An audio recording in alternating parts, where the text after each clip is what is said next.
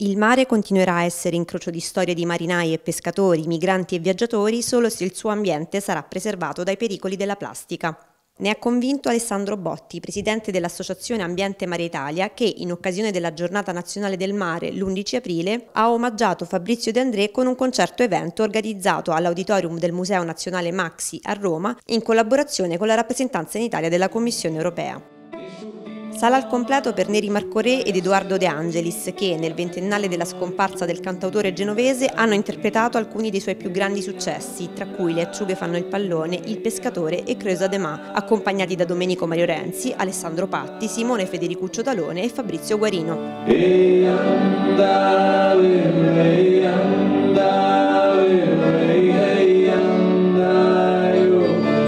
Ambiente Maritalia ha deciso di dedicare in questa giornata di festa nazionale, la giornata nazionale del mare, un concerto sulle canzoni di mare del nostro compianto cantautore Fabrizio De André nel ventennale della morte per eh, sensibilizzare ancora una volta i nostri amici e in genere la eh, pubblica opinione su un problema, il problema dell'inquinamento del mare da materiale plastico. Dopo la serata che abbiamo fatto il 22 dicembre in compagnia del del nostro amico eh, Peppe Vessicchio in cui abbiamo presentato il progetto Liberami dalla plastica, oggi possiamo già fare una prima eh, valutazione di come il progetto sta andando avanti. Ogni settimana noi pubblichiamo eh, molte notizie eh, contenenti le buone pratiche per ridurre l'uso della plastica eh, sia nei processi produttivi che mh, mm, nei processi istituzionali, nelle istituzioni e geolocalizziamo, ormai sono circa 500 le realtà istituzionali e imprenditoriali che sono state geolocalizzate geolocalizzate nella prima mappa dell'ecosostenibilità che eh, rappresenta la responsabilità in Italia nei confronti di questo problema. Sono veramente un, un sostenitore di qualsiasi campagna no plastic e, e, insomma mi sono già esposto varie volte da questo punto di vista e ricordo anche un, uno spettacolo con la regia di Giorgio Gaglione che si chiama Quello che non ho eh, che abbiamo messo in scena negli ultimi quattro anni, cioè eh, abbiamo iniziato quattro anni fa fino all'anno scorso,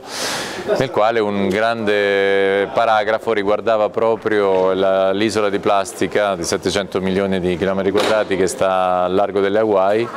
eh, lo chiamano il sesto continente e tanta gente nel corso dello spettacolo poi alla fine si stupiva del fatto che ci fosse questa, questa cosa, questo, questo disastro ambientale. Disastro ambientale che trova nei numeri la sua tragica conferma. Sono infatti 150 milioni di tonnellate i rifiuti in plastica dispersi oggi in mari e oceani, 700 le specie marine a rischio, 322 milioni le tonnellate di plastica prodotte ogni anno nel mondo, di cui solo il 9% viene recuperato. Riduzione, recupero, riciclo e riuso sono le 4 R per invertire questa tendenza, secondo Botti, che ne ha aggiunto una quinta, ricerca. C'è bisogno dell'impegno di tutti, c'è bisogno dell'impegno anche di Ambiente Mare Italia che è a fianco delle istituzioni e sicuramente sicuramente potrà fornire un contributo assoluto eh, di valore. Eh, noi cerchiamo eh, anche nei giovani, oggi è la giornata anche della cultura del mare, quindi eh, si deve seminare nei giovani una cultura diversa di approccio al mare, di una cultura di sostenibilità. La plastica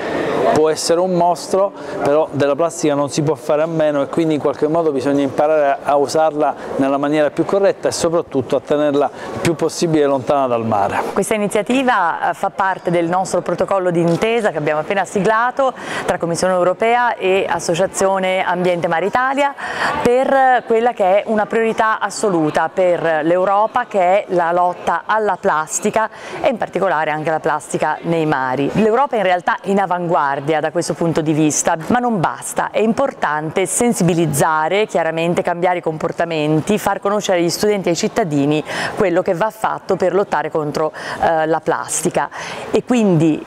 queste azioni di sensibilizzazione ma anche un investimento di più di 100 milioni di euro eh, con un progetto che andrà a vedere proprio a quantificare i dati della plastica nel Mediterraneo.